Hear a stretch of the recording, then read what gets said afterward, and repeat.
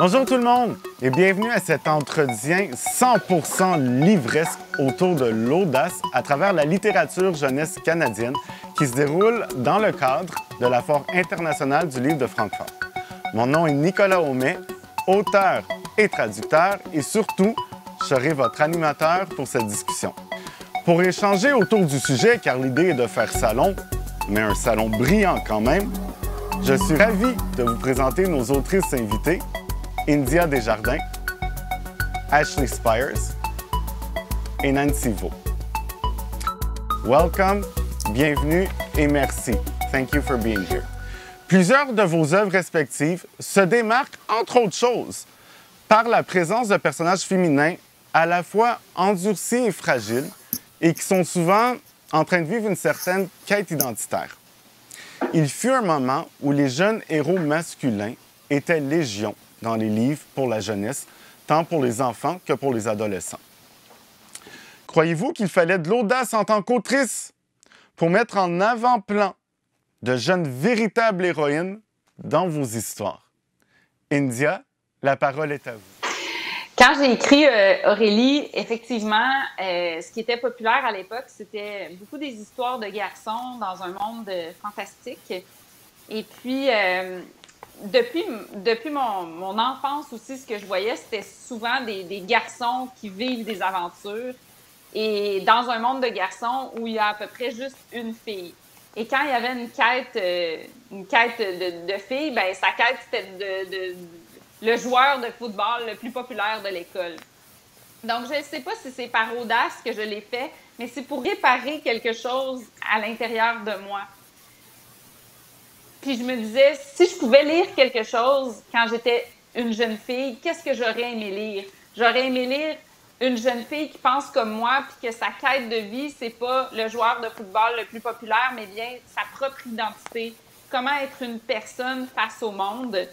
Et puis, euh, puis c'est pour ça que j'ai créé ce personnage-là, où elle était entourée aussi de d'autres de, personnages féminins qui n'étaient pas des rivales. Donc, je l'ai peut-être...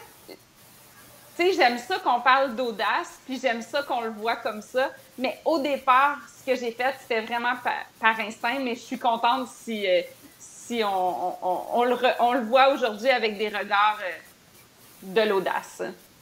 Ben, tu as tout à fait raison. I don't know if Ashley, if you'd like to chime in about this. Oh, absolutely. I, you know, I'm. It's interesting that um, my response to my book, The Most Magnificent Thing, was was that it was very audacious to cre- create a story about a little girl who makes things, which was so interesting because it was actually the most uh, honest and authentic book to my own experience. I I really didn't intend to be breaking any barriers with it. I just wrote a story about myself and my own struggles when I create something and how challenging it is.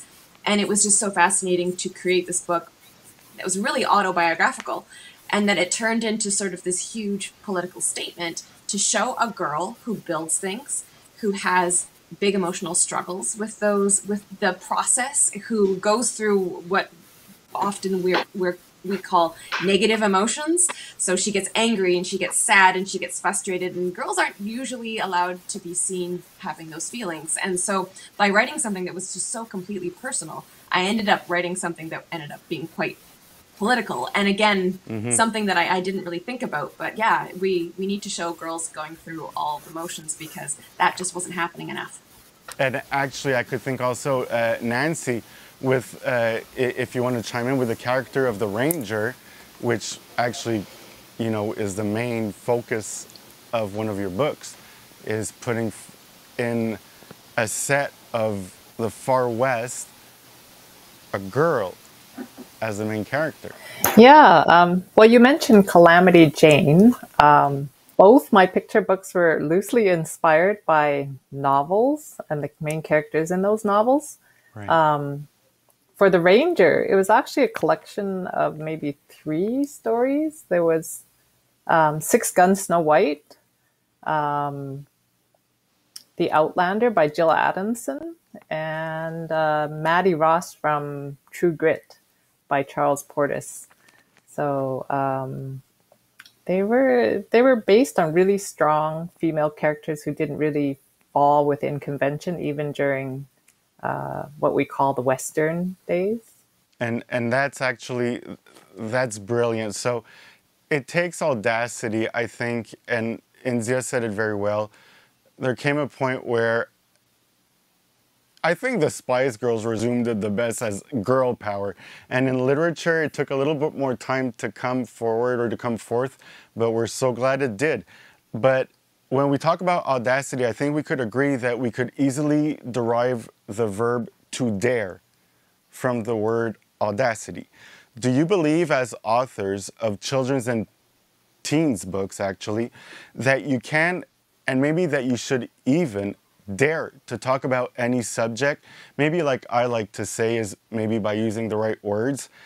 And in that sense, if we can talk about any subject with kids or teenagers, do you think we dare a bit more in Canadian literature more than other countries? I know the UK is really open, but maybe in other countries it's a little less.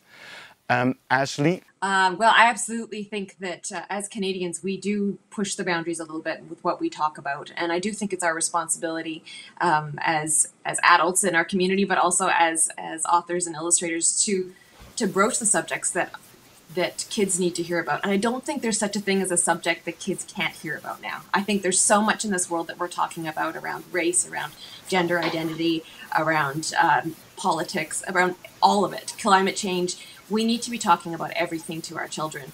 And I think when it comes to children's books, it's really just about how it's packaged. It's about how we tell our stories. It's about making all of these big, scary topics accessible for young children as they're learning about it so that it's something that isn't intimidating for them, but is instead something that will encourage them to ask more questions. I think Canadians are quite good at it. I think uh, Europeans and the UK are probably even better at it than we are. Um, that said, I, I'm interested to hear what India has to say because I do think French Canada actually pushes the boundaries even more than English Canada does. Uh, but it's it's definitely something that I think that we do within North America. I think we do push more boundaries than perhaps our southern neighbors. Well, that's very interesting. And actually, India, j'aimerais ça te demander, est-ce que tu es d'accord que, mis à part, on peut parler de d'autres pays, mais on peut aussi parler, parce que le Canada, c'est très grand, qu'on ose au Québec certains sujets qui sont peut-être plus euh, conservateurs dans d'autres provinces? Est-ce que tu es d'accord avec ça? J'ai été tellement surprise qu'elle dise ça, puis même touchée, parce que je trouve que ça démontre bien une une belle complémentarité qu'on peut avoir. Mais je suis tellement d'accord avec ce qu'elle dit sur le fait qu'on peut parler de tout, puis c'est de la façon dont on le traite. Euh, je pense que c'est, on, on, peut utiliser beaucoup l'humour, la bienveillance, euh, euh, tout ça, mais moi, je, pense qu'on va chacun avec notre authenticité, notre vécu, notre, vérité. Je le vois pas un peu comme une compétition nécessairement de qui le fait le mieux tu sais je pense que chacun essaie de parler aux enfants comme on pense que nos enfants vont bien le, recevoir. Donc, tu sais, je pense qu'on y va avec notre propre expérience puis comment j'ai l'impression que chaque auteur pour enfants, il va avec comment lui il aurait aimé se faire parler comme enfant. Donc, je sais pas c'est quoi nécessairement la différence, mais je pense qu'on peut aller chercher un peu de tout là-dedans. Puis je pense que quand quelqu'un réussit déjà à, toucher le cœur d'un enfant, pour moi, il y a quelque chose de, dans tout ce que tu dis du mot audace et oser et tout ça. Ce que, ce que j'aime beaucoup dans ce que tu dis, c'est en fait, oui, on peut oser, on peut parler de tout. Suffit en fait de savoir se mettre au niveau des yeux du lectorat qu'on vise. Donc, d'utiliser les bons en toute authenticité. Oui, c'est ça. Parce que, tu sais, dans le fond, si on essaie trop d'être comme eux, ils vont le sentir. Si on essaie trop de, de, de, leur parler euh, comme des enfants, ils vont le sentir. Il faut vraiment trouver la façon. Mais il faut avoir son cœur d'enfant. Il faut oser avoir son cœur d'enfant. Oui, puis qu'on se dise, hein, il n'y a pas d'âge pour se faire conter une bonne histoire. And Nancy, in that specter, Is there a subject you would never dare, since we're talking about audacity, sorry, dare to approach or abort in your stories? Oh, that's a tricky one. Um, I don't think of censoring myself when I come up with topics for uh, books because right. I think when I was growing up, I was quite lucky to have a public library, like literally uh, on my path home to school. So I think I blew through that entire branch library's content. So um, yeah, there was everything. There was like aliens. There was ESP. There was there wasn't a topic that you weren't allowed to, or for me anyway, um, to look through. So, um, and I think about some of my favorite picture books. They don't shy away from topics that maybe parents might find a little bit hard to digest, like totally, um, yeah. And I know you're a fan. Yeah. For example, I think you're a fan of Jon Klassen, right?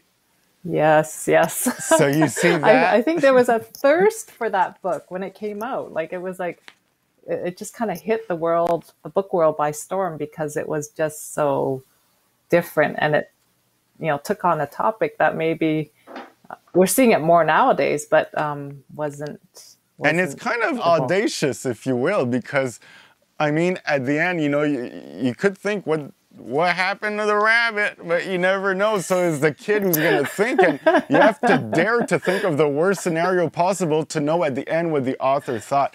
So I think that's great. But now, profitons, il nous reste quelques minutes euh, pour partager vos inspirations avec vos fans d'un océan à l'autre du pays. Lorsque vous aviez l'âge des lectrices et des lecteurs auxquels vous vous adressez, quelles autrices et auteurs vous ont marqué le plus? Nancy, c'est à vous.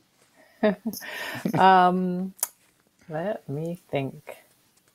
When I was young, uh, and this is terrible because I don't know the name of the series. It's probably one of those quests where I'll have to find a librarian and ask if they remember it. But uh, there was a series, and it had animals in it. It had people who liked going to jail because the food in there was better than they could cook for themselves at home. Um, and there was a lady who liked buying dime store jewelry, and they were, you know, they were this mixed bag of characters. So I like that one. And then there was another one, and it had line drawings of a witch. Um, and I can't find that book either. so, yeah. oh, that's amazing. And um, Ashley, for example, I mean, I could talk about so many of your characters of your books, but um, who, in, well, who inspired you? Were you inspired, or were you a reader as a child, first of all? I was a huge reader, absolutely, and uh, a good friend of mine, her mom was a children's book librarian, so I kind of got the best stuff put in my hands as a kid too. And one of the things that she gave me, I think when I was nine, was uh, Roald Dahl's Revolting Rhymes, which is hands down my absolute favorite. And it's so interesting that we're talking about audacity because I think it was the most audacious book I had ever read because he flipped these fairy tales that we all knew so terribly well, and he put them on their head, and he made the main characters murderers and very very complicated very dark individuals. They had people getting their heads lopped off. And just he allowed people to do a full range of horribleness and wonderfulness all mixed into one. And it was all told in rhyme and hilarious. And it made me laugh over and over again because i read it over and over again. And so i think that was why i decided i needed to make books like this books that pushed boundaries that made kids laugh so they wanted to read it over and over again. And it was just 100% an inspiration to me and still is to this day. Well, there's another one on my must-read list, which is just getting longer and longer. Et India, puisque je suis dans le secret des dieux euh, et que je demande des inspirations autour d'autrices et d'auteurs, et vu qu'on fait dans la littérature canadienne, n'est-ce pas, je sais que quand on parle d'audace, tu parlais beaucoup de Margaret Atwood, qui est une référence pour toi. Ben, en fait, je l'avais nommée en pré-entrevue euh, parce que je trouve que oui, elle, elle, a beaucoup d'audace dans, ce qu'elle écrit dans les sujets féministes. Mais quand j'étais une petite fille, ce qui m'a beaucoup inspirée, c'est euh, Lucie Montgomery avec euh, Anne la Maison Pignon Vert. Moi, je sais que c'est une de mes inspirations pour Aurélie. Je trouve que c'est une écrivaine qui a eu l'audace de mettre un personnage féminin à l'avant-plan à une époque encore pire que moi avec mes affaires de héros masculins dans un monde fantastique. Là, à, ce moment-là, les, les, filles n'avaient pas de valeur et elle a mis une fille rêveuse. Euh, puis c'est carrément sur une terre où euh, on voulait adopter un garçon, puis là, là sont avec une fille, puis elle doit faire sa place comme ça. Et, ça, moi, pour moi, ça a toujours été une inspiration. Et, même quand on parle d'audace, tu sais, les universitaires aujourd'hui reconnaissent pas nécessairement la valeur de Anne la Maison Pignon Vert. Et pourtant, là, au Canada, c'est un attrait touristique et tout. Puis, euh, moi, je trouve qu'elle mériterait ses, lettres de noblesse et qu'on ne la juge pas parce que c'est de la littérature jeunesse. Et surtout pas parce que c'est le plus grand défi, c'est d'écrire pour la jeunesse parce que c'est les plus grands critiques et les plus justes d'ailleurs. On ratisse large au Canada et on a la chance, a word that came a lot. India, tu le dis souvent. Nancy and Ashley, I think you both said it. A word that came often was the word accessibility, l'accessibilité. I think that what and your mission as authors reflects that very well, is that in America, not just Canada, but in America, we have the chance to have access to literature and it's free. Libraries, les bibliothèques, c'est gratuit. And that is so precious. I think a lot of families that will hear this will go to their city libraries and we have to keep those alive. So thank you very much for that. Merci beaucoup, India. Nancy, Ashley, thank you very much. Merci. Thank you. Thank you. It was nice meeting you. The joy of reading is something we like to share. So, dear public, thank you so much for being with us. And you're going to find out that through books, you could travel, you could question yourself on many things. You could live amazing adventures.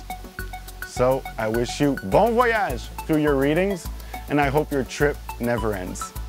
Thank you very much.